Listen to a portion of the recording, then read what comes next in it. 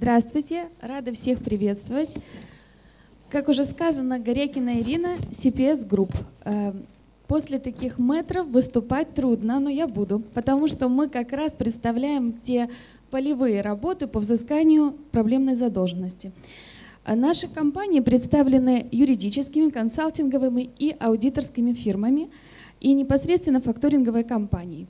Мы э, с банками работаем через компании «Новотех» и «Юринфоком». Здесь присутствуют топы банков, которые нас хорошо знают и знают нашу репутацию. Э, прекрасно было заявлено о том, что проблемные активы являются основной причиной дальнейшего развития финансового рынка Украины – также я хотела бы сказать большое спасибо организаторам данного форума, потому что концентрация финансового опыта, финансовых знаний в этом помещении на метр квадратный превышает предельно допустимую норму. Я хочу сказать, что э, все, весь тот опыт очень ценен, потому что все люди, которые здесь присутствуют, отдали поднятию этой целины финансового рынка 10-20 лет своей жизни. Я хочу э, поднять следующие вопросы. Это, безусловно, работая с заемщиками, мы могли бы сказать, что является причинами проблемных кредитов. Прежде всего, это валютные риски. Во-вторых, это высокая ставка по кредитованию и непосредственно аферы в финансовой сфере. То есть выдача необеспеченных кредитов и также изначально выдача кредитов, которые никогда не собираются вернуться. Стоит заметить, что первые два пункта – это, безусловно, управляемые банковской сферой пункты. Третий – это 50 на 50 заемщиком. А теперь более детально. Если о валютных кредитах уже сказано много, и в этой сфере проделана колоссальная работа банковским сектором, то что касается ставки рефинансирования, мы считаем, что здесь огромный пробел. Потому что э, даже вот недавнее поднятие до 17% совершенно не было освещено в СМИ, не обсуждалось. Не существует реального диалога между Национальным банком и реальным сектором экономики по этому вопросу.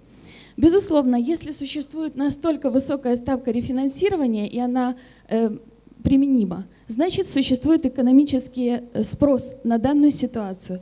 Мы считаем, что это в том, Э, он заключается в том, что в ставке рефинансирования фактически скрыт налог, то есть проблема взыскания, потому что взыскать налоги с компаний, крупных компаний, э, в том виде, в котором сейчас существует теневой оборот более 50%, невозможно. Поэтому вот такой суррогат наш украинский заключается в том, что на ставку рефинансирования возложили эту функцию.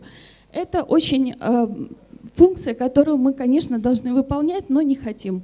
Потому что банковская система прежде всего должна обеспечивать кредитно-финансовую политику страны. Также я хотела сказать, что э, оздоровление ситуации выглядит в освобождении банка от данной функции. Следующий пункт, который я хотела сказать, это то, что на самом деле, по сравнению с 90-ми годами, мы достигли больших прогрессов. За 20 лет, я помню, будучи студенткой, достала папин договор за 1994 год, где ставка по кредиту составляла 70% в месяц, а залог был оформлен на белой страничке. Также хочу сказать, что ставка рефинансирования 17% по сравнению с 300% годовых в 90-х, конечно, тоже огромный прогресс. Поэтому, безусловно, то, что здесь обсуждалось, это очень интересные темы, и я думаю, что мы можем себя за это похвалить. А, также в заключение хочу сказать следующее, что обсуждая проблемные кредиты, мы должны понимать, что в Украине выросло уже третье поколение людей, которые привыкли брать кредиты и не отдавать, и сделали это своим семейным бизнесом. Об этом говорили предыдущие спикеры, и суть вопроса в том, что бренд Management считает, что банковская система сделала очень много за этот период, а именно легализация залогов, прав собственности, снижение бремени процентной ставки упрощение режима резервирования и списания других активов. Также, как компания, которая работает непосредственно на местах и проводит медиацию с заемщиками, мы хотим сказать, что невозврат кредитов, отсутствие доброй воли – это тоже очень важный момент – если мы говорим про Одессу, то проповедовать там возврат кредита все равно, что проповедовать Христа в мусульманской церкви. Но мы все это делаем и имеем огромные в этом результаты. Также я хочу сказать, что э, проведение внутренней финансовой политики Украины – это, безусловно, э, для нас вопрос воли, а не вопрос внешних рисков. Конечно, я понимаю ваши улыбки и о том, что мы в Украине являемся всего лишь частью большой финансовой пищевой цепи.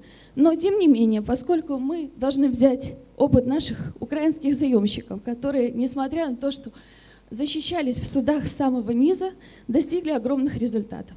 Поэтому, если мы будем говорить об этом, давайте употребим их опыт среди той сети, в которой мы находимся.